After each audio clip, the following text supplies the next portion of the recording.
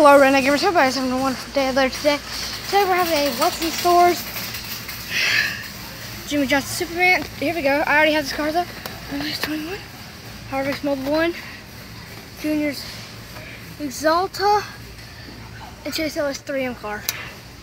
I'm going to get, let me look, as soon as they drop some. And Martin Truex is the one I want. But they may not have Truex. So I'm stuck between Harvick and Junior and Elliott. I'm gonna get um uh, Alex or Alex well, Kevin Harvick because I don't have oops I don't have this car. I don't have um well yeah I don't have this car or that car but or that car.